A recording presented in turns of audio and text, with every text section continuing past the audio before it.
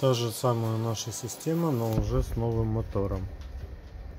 Сбрасываем Arduino. Возврат в нулевое положение. Все, система готова к работе. Ну и, допустим, открыли. Допустим, закрыли. И это по одному обороту сторону. То есть в дальнейшем у нас осталось дело только за механикой.